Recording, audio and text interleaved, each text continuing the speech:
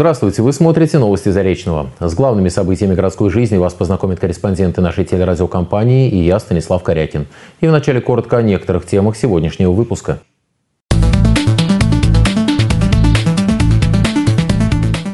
Герой России, летчик-космонавт и политик. Депутат Государственной Думы Александр Самокутяев впервые провел личный прием жителей Заречного.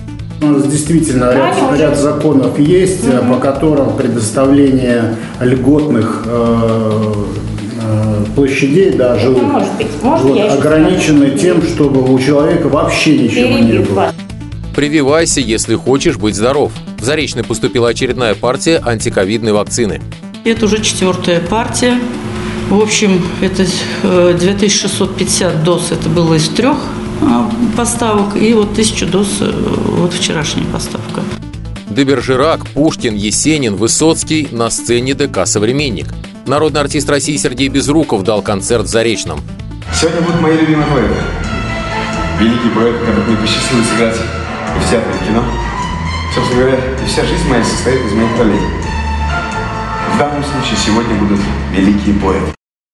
И теперь об этих и других новостях подробнее. Герой России, летчик-космонавт, а ныне депутат Государственной Думы Российской Федерации Александр Самокутяев встретился с зареченцами.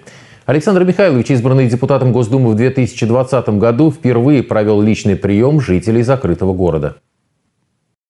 Социальные выплаты на детей, ремонт дороги на Чемодановские дачи, срок окончания ремонтных работ магазина на улице Ленина. На личном приеме депутата Государственной Думы Российской Федерации Александра Самокутяева в Заречном прозвучало более десятка вопросов. Герой России, летчик-космонавт, уроженец Пензы.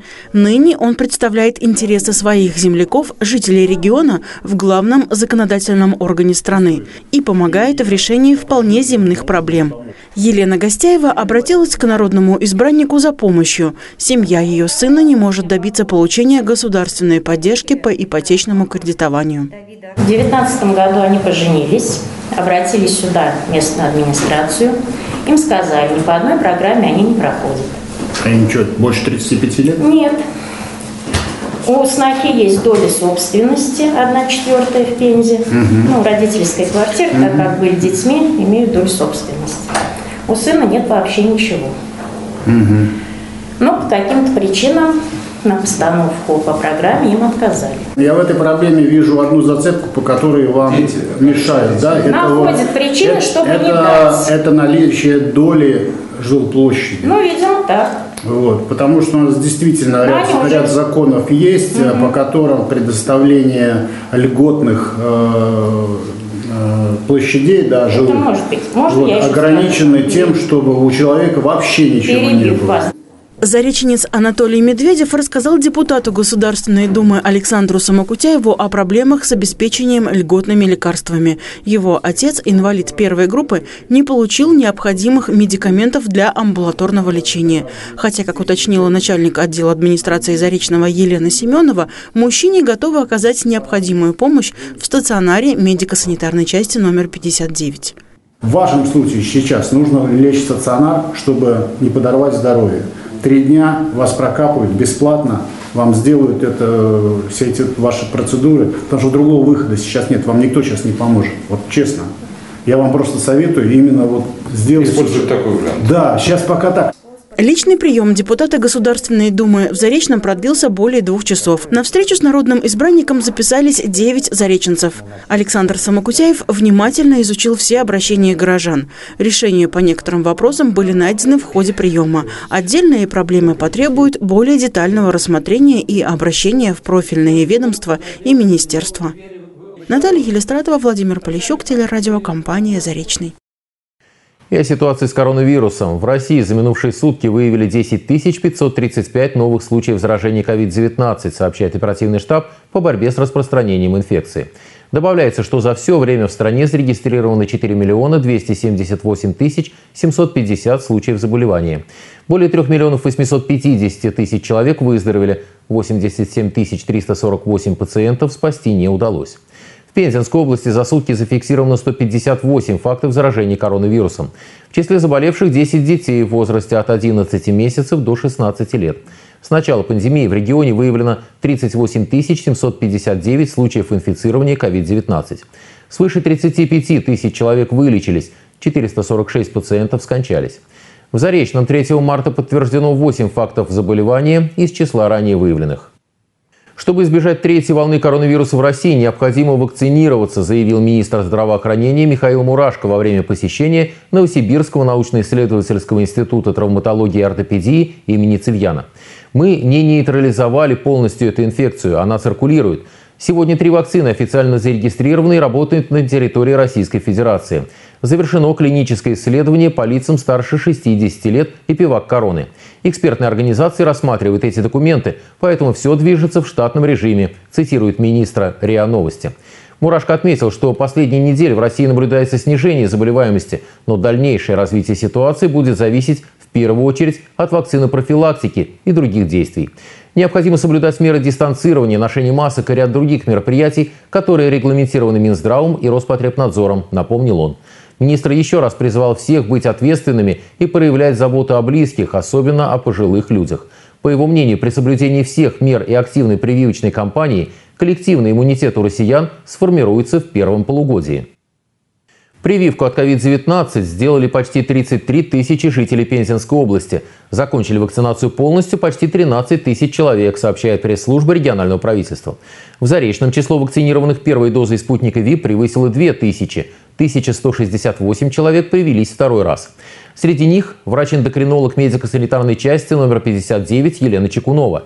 Она одной из первых в городе прошла оба этапа вакцинации и настоятельно рекомендует своим пациентам последовать ее примеру, в силу своей профессии зная, насколько опасен коронавирус для людей с нарушениями работы эндокринной системы. Тем более, что никаких проблем с антиковидными прививками нет, и новая партия спутника ВИ в тысячу доз готова к применению. Врач-эндокринолог городской поликлиники Елена Чекунова одной из первых привелась от коронавирусной инфекции. На иммунизацию пошла вместе с мужем. Ему на работе тоже приходится контактировать с большим количеством людей. Никаких нежелательных реакций на прививку у супругов не было.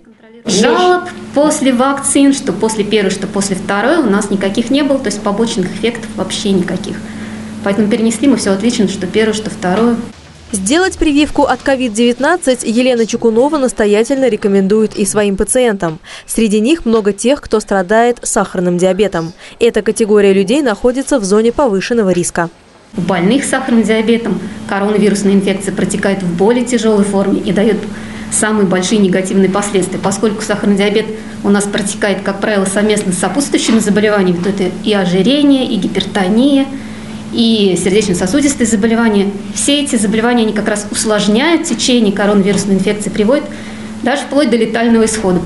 Прививка поможет защититься от новой инфекции или облегчить течение заболевания. Дополнительных обследований для иммунизации не требуется, нужно только знать свой уровень сахара. Противопоказанием для прививки является только декомпенсация диабета выраженная. То есть это когда сахар больше 10 в крови, Осложнения сахарного диабета не являются противопоказаниями, только острые. То есть это либо кетоацидоз, либо низкий сахар, гипогликемия. Зареченцев прививают двухкомпонентной вакциной Гамковид-ВАК, или, как ее еще называют, Спутник Ви. На этой неделе в медико-санитарную часть номер 59 поступила новая партия препарата. У нас началось с 27 декабря поставки, это уже четвертая партия. В общем, это 2650 э, доз, это было из трех поставок и вот тысячу доз э, вот вчерашняя поставка. Записаться на вакцинацию можно несколькими способами. Проще всего через портал госуслуг. Если с этим возникают какие-то трудности, можно обратиться в многофункциональный центр или в его временное представительство в городской поликлинике. Также на вакцинацию записывают врачи-терапевты во время приема. Сотрудники медсанчасти просят горожан ответственно относиться к иммунизации. Если они не могут прийти на вакцинацию, все-таки же нужно сообщать в поликлинику, потому что вакцина, один флакон идет на 5 человек. И очень обидно людям, которые пришли на вакцинацию, хотят привиться, а мы привить не можем, потому что флакон размораживается только когда пришли все 5 человек, которые записались на вакцинацию. Делая прививку от коронавируса, люди заботятся не только о своем здоровье, но и о благополучии окружающих. Чтобы остановить распространение инфекции, необходимо вакцинировать 60% населения города. Ксения Тризна, Владимир Полищук, телерадио, компания «Заречный». Сеанс мгновенного перевоплощения. Так охарактеризовал свой моноспектакль Сергей Безруков. Лауреат госпремии, народный артист России, актер театра, кино и телевидения, режиссер, продюсер и сценарист, певец, гитарист и рок-музыкант выступил за Заречном на главной сцене города. Концерт состоялся при поддержке госкорпорации «Росатом» в рамках программы «Территория культуры Росатома». Сирано де Бержерак, Пушкин, Есенин, Высоцкий за два часа перед зрителями предстали поэты разных эпох, характеров – каждый со своей трагической судьбой, рассказывает Светлана Теплухина.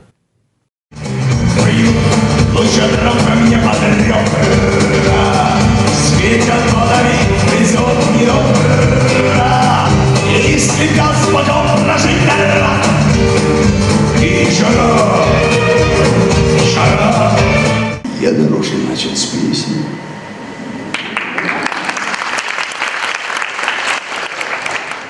что у вас не осталось сомнений, кто перед вами. Сомнений действительно не осталось. Характерная хрипотца в голосе, узнаваемые интонации, трагический надрыв и мощная энергетика. Владимир Высоцкий, воплощенный Сергеем Безруковым, правдив и искренен. Так же, как и его собратья по Перу, жившие в разные эпохи и представшие перед зареченскими зрителями благодаря всего одному актеру. Сегодня будут мои любимые поэты. Великий поэт, которых мне посчастливилось сыграть в театре, кино. Собственно говоря, и вся жизнь моя состоит из моих ролей. В данном случае сегодня будут великие поэты. И я покажу вам каждого из этих поэтов. Я хочу, чтобы вы почувствовали их энергетику, как будто на сцене действительно они. Без грима, без костюмов, только детали, лишь намекающие на эпоху и на живущего в ней поэта. Вот в руках актера маска с огромным носом, и перед нами герой Эдмона Растана Сирано де Бержерак, поэт, философ и романтик. Я сердце отдал вам, завтра в час свидания. Отдайте мне взамен свое, чтобы познать оно могло мое страдание.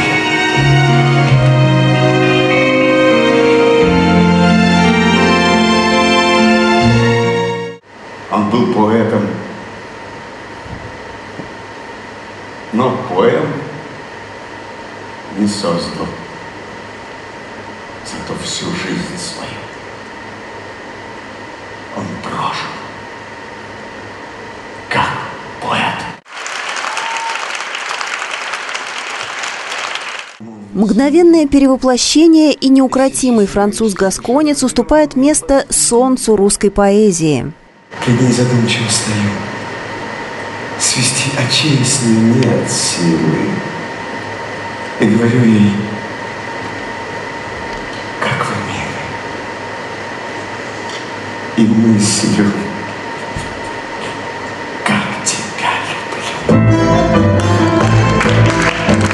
Пушкин – легкий, изящный, темпераментный, такой же, как и его стихи, которые словно созданы для того, чтобы их петь. Я еду прочь, и лесу, душе влюблен. Грустно было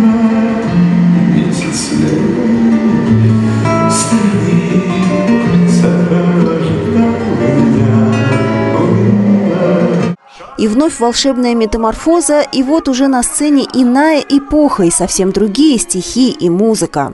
Шла машина из Тамбова, потеряла две доски. Доктор лечит от болезни, докторица. Ой, знаете, да, от тоски. Свой, народный, рязанский поэт Сергей Есенин. У актера к нему особенное отношение. Такой абсолютно народный, очень такой свой, очень свой с этой гармошкой и с этой абсолютно по-русски. Хотя он, конечно, с хитрецой был, как все, все крестьянские, э, крестьянские дети. Он все-таки был крестьянином, но он был великим русским поэтом. И Сергей, Сергей Александрович я очень люблю. Я вырос на его поэзии.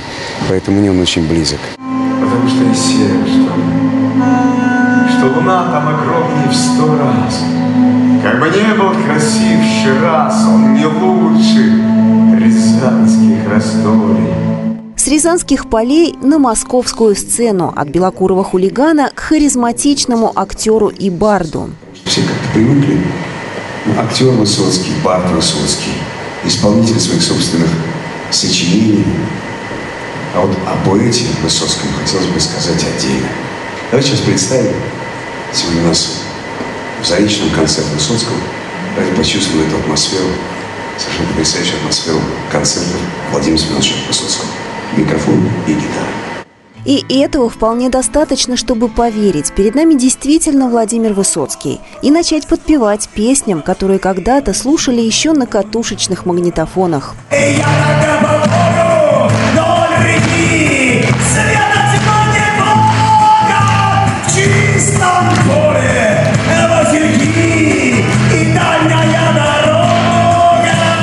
Сирано де Бержерак, Пушкин, Есенин, Высоцкий. За два часа перед зрителями прошли поэты совершенно разных эпох, но с удивительно похожими своей трагичностью судьбами. Из их таких противоречивых характеров, словно мозаика, сложился портрет талантливого и многогранного актера. Моноспектакль народного артиста России Сергея Безрукова «И жизнь, и театр, и кино» состоялся в Заречном благодаря программе «Территория культуры Росатома». Это первое гастрольное выступление на главной сцене города после года коронавирусных ограничений. И хотя зал пока разрешено заполнять только наполовину, это ничуть не уменьшило эмоциональности зрительского отклика. На память о визите гость увез с собой неофициальный символ закрытого города с открытой душой.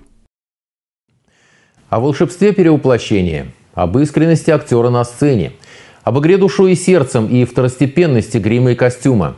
Самыми сокровенными секретами профессии народный артист России, актер, режиссер, певец, музыкант Сергей Безруков поделился с корреспондентами зареченских средств массовой информации. Смотрите интервью сразу после рекламы, а пока о спорте. Подведены итоги проекта «Сурский герой. Зима. Лыжный марафон по Пензенской области». Состязания проходили в регионе с 4 января по 13 февраля 2021 года. За 6 недель к лыжному марафону присоединились 1206 человек.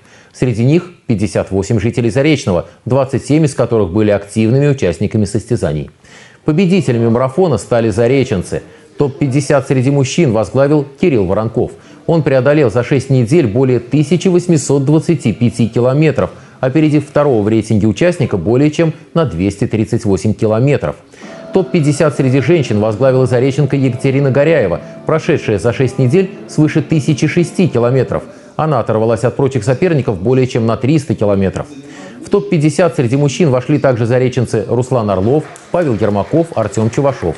В топ-50 среди женщин Анастасия Андрюшечкина, Анастасия Лапкова и Ольга Михалкина – Награды лидерам марафонов в Музее спорта Пензенской области вручил министр физической культуры и спорта региона Григорий Кобельский. Сразу после рекламы смотрите интервью народного артиста России, актера, режиссера, певца, музыканта Сергея Безрукова. А я прощаюсь с вами до следующей встречи на канале Заречный. За окном весна, а значит пришло время готовиться к новому посадочному сезону. И поможет вам в этом магазин «Наша дача», расположенный по адресу улица Комсомольская, 12, дробь 2. Здесь есть все, что должно быть в арсенале настоящего дачника. Вас порадует огромный выбор семян от именитых производителей. Партнер, Гавриш, Аэлита, Сибирский сад. Ассортимент представлен как плодовыми овощными культурами, так и декоративными растениями и цветами цветами. Как раз сейчас в магазине «Наша дача» действует акция. Скидка 10% на все семена перцев и томатов. В большом разнообразии здесь представлен и голландский лук-севок. Уже в продаже сорта Штутгартен Ризен, Стурон, Центурион, Ред Барон, Геркулес. Поступили в магазин «Наша дача» и луковичные растения. Вас порадует выбор гладиолусов российской селекции, давно полюбившихся цветоводам, а также садовых роз. Один из самых востребованных сейчас товаров – грунт для рассады. В сети магазинов «Наша дача» вы также найдете в большом разнообразии. А плюс к нему как универсальные, так и специализированные цветочные питательные смеси. Опытные садоводы знают, собрать богатый урожай не получится без должного ухода за растениями, поэтому применяют разные добавки и удобрения. Не обойтись в этом деле и без вермикулита. Все эти товары вы также найдете в нашей даче. А еще посадочные кассеты, рассадницы, торфяные стаканы и таблетки, парники, ящики для рассады и многое другое по очень приятным ценам. Мне нравится этот магазин, я к нему очень, очень часто хожу. Здесь больш, огромный ассортимент. Здесь семян много, много удобрения, много земли. Это очень замечательно. И магазин, и продавцы, и обслуживание, вообще все нравится. Я желаю, чтобы все сюда ходили. В магазине «Наша дача» вам всегда рады. Мы ждем вас по адресу улица Комсомольская, 12, дробь 2, телефон 25 67 97.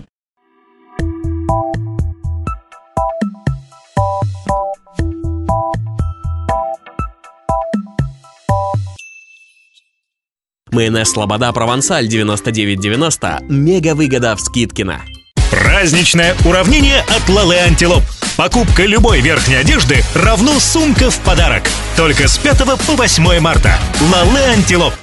Тюльпаны 29,90 за штуку. Конфеты шоколеди «Тайное искушение» 99,90. Встречай весну вместе с магазином «Скидкина». А что ты знаешь о создателях твоего города? Новый сезон конкурса «Слава Созидателям» – это отличная возможность узнать историю твоего города и получить ценные призы. Выбери номинацию. В формате видео передай привет в будущее или в аудиоформате запиши подкаст о Созидателе. Выполни условия конкурса и жди результатов. Конкурс проводится в социальной сети ВКонтакте. Подробности о правилах и сроках его проведения на сайте слава созидателем.ру Стиральный порошок Персил 279,90 мега выгода в Скидкино. Смотрите на нашем канале. Главные события атомной отрасли. Что происходит и почему происходит. Стратегии Росатома и оперативные репортажи. Программа «Страна Росатом».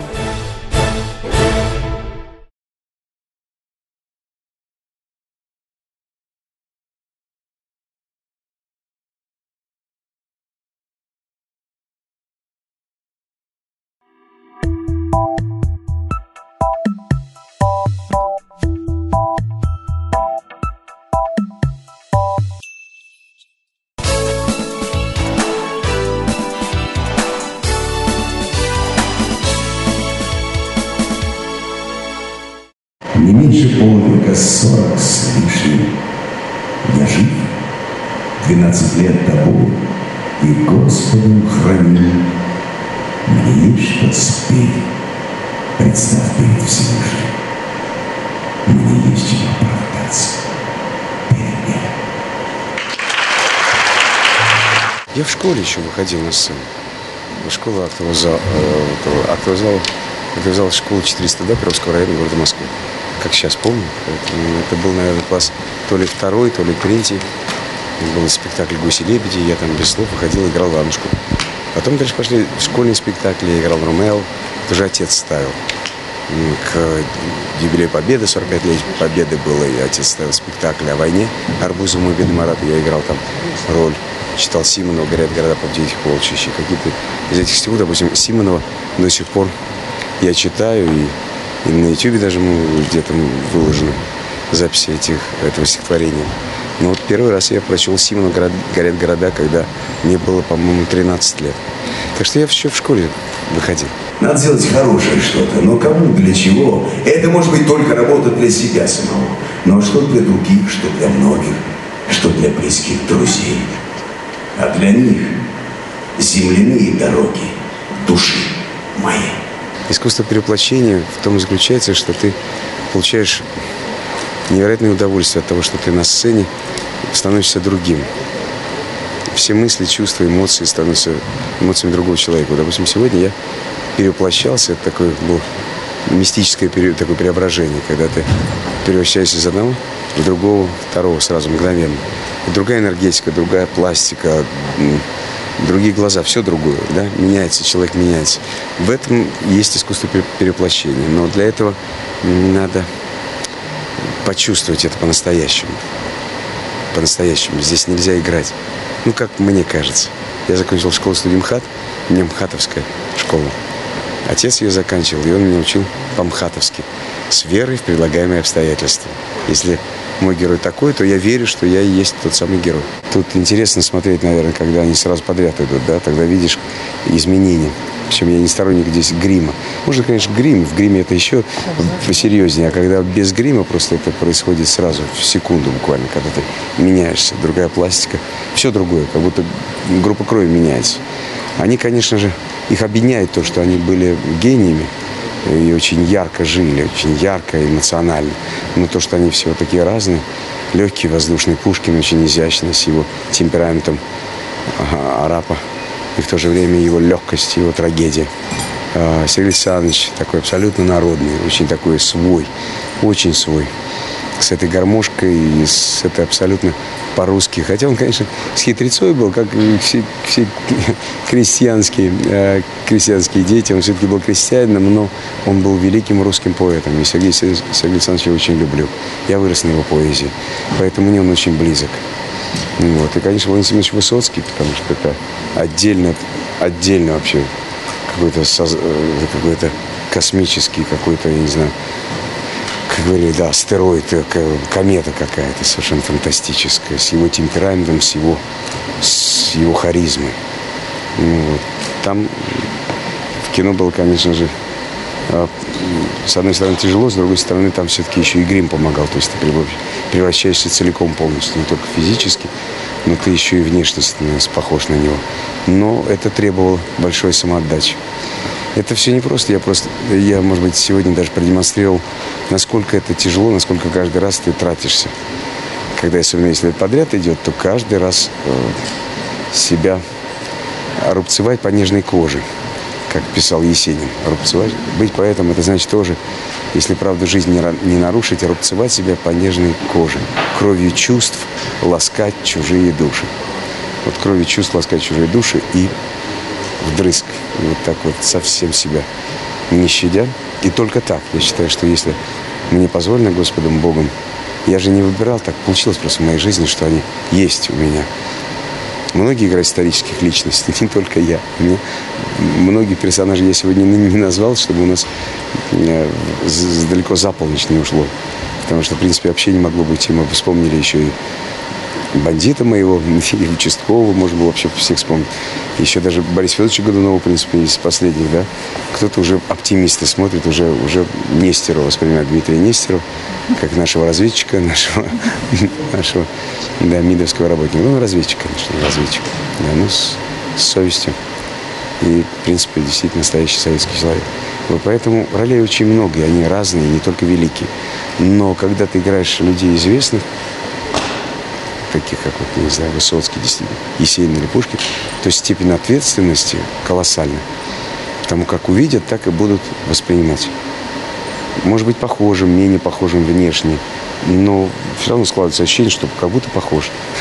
да, вроде, действительно, вроде бы и лицо даже становится похоже. У меня такие случаи волшебства бывали, когда мне нос вытягивал сам по себе. То есть происходили такие волшебства, впечатления у зрительства, когда ты видел действительно человека, когда и голос, и глаза превращались, когда и, и все начинало дрожать, и голос дрожит, и хрипотца вдруг идет такая. Откуда она, что это? Я не знаю. Ну, вот какие такие волшебные вещи происходят. Сегодня я особенно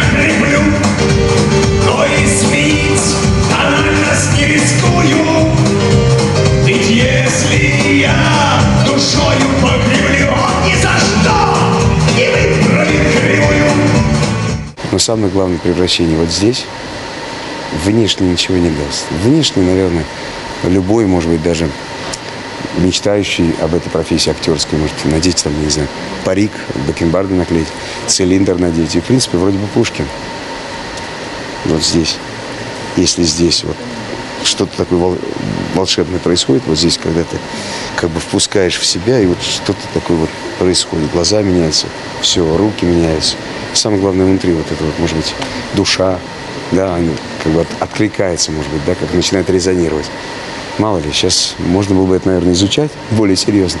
Но что в этот момент происходит? Какой-то резонанс. Ты попадаешь в какой-то резонанс определенный. Начинаешь звучать. Вот, так что это довольно-таки сложно, это непросто. И самое главное, что это действительно с, больш... с большой затратой энергии. Только так. Я, я не умею иначе. Но знаю я, что живо, а что свято. Это понял все-таки давно. Мой путь один, всего один, ребята. Мне выбора, по счастью, не дано. Я не могу на сцене не тратиться. Меня так отец научил. Так тратился всегда Олег Павлович Табаков, мой учитель. Тратится, тратится на сцене. Если ты не чувствуешь, если ты уже нет этого волнения, вот этот бон-кураж, когда ты волнуешься, когда ты живешь на сцене. Если этого нет, надо уходить с профессии. У меня это есть, я счастлив. Энергия, я не знаю, бывает ее совершенно практически нет. Да, выходя на сцену, думаешь, усталый сегодня, не могу просто, уже выжатый как лимон. Зритель. Ты выходишь, конечно, когда, допустим, я был совсем юным, когда меня еще никто не знал, мне приходилось доказывать, когда я играл Есейна в Ермоловском театре, сто лет со дня рождения поэта, 95-й год, меня еще никто не знал. Я был артистом табакерки. Я выходил, да, я был блондином, я был круглее, еще такой весь такой, абсолютно такой, даже вот смотришь на себя, мне было 22 года, и думаю, ну, ну вот абсолютно. Вот тогда я был похож на Есенина, сейчас нет. А тогда был действительно вот лицо кругленький такой здесь, вот такой действительно, ну вот шел к этому давно. Но тогда приходилось доказывать, я рвал душу практически, каждую сцену я рвал, чтобы в конце услышать те самые овации, которые я теперь может быть, заслуженно, поскольку уже много этой профессии занимаюсь лет, мне уже 47 лет. Поэтому, когда выходишь к залу, тебя принимают. И, конечно же, когда ты приходишь, тебя аплодируют. Это уже некое такое доверие зрителей, когда они аплодируют тебе и ждут. А дальше ты должен сделать так, чтобы они не ушли разочарованными. То есть, с одной стороны, вроде бы, ну, меня и так уже принимают. Я вышел, поздоровался, и зал меня аплодирует, да, потом еще немножко улыбнулся, люди уже устраивают овацию. Они рады меня видеть, они, но потом надо доказать, что они тебе не зря аплодировали. Вот это уже следующий этап. То есть сначала тебя встретили, а дальше вы не зря сегодня пришли, я сегодня отдам всю свою энергию. Но в этот момент есть, конечно, такая подзарядка, когда тебе дали эту энергию, ты ее получил, а дальше ты отвечаешь еще вдвойне, потому что она как, как аккумулятор какой-то. Ты подзарядил его, свой аккумулятор, да, и дальше отдаешь, уже он просто работает, работает, работает. Сейчас уже, понятно, выдохнул, а на спектакле вот что-то происходит. Почему говорят, что сцена лечит, сцена дает энергию. Я не знаю, Олег Павлович Табаков, он вроде бы и ходил плохо, в последнее время-то ну, просто и как-то я всегда думал, Олег Павлович, дорогой, вам нужно меньше играть. Ну, он уже в возрасте, да, ну зачем ему столько ролей? А я понимал, что ему это необходимо. Он на сцене живет. То есть насколько он на сцене был вот таким живым, подвижным, потом выходил, да и тяжело вроде бы пройтись, но сцена, сцена дает ту самую энергию, для артиста тем более. На сцене артист преображается. Волшебство. Волшебство.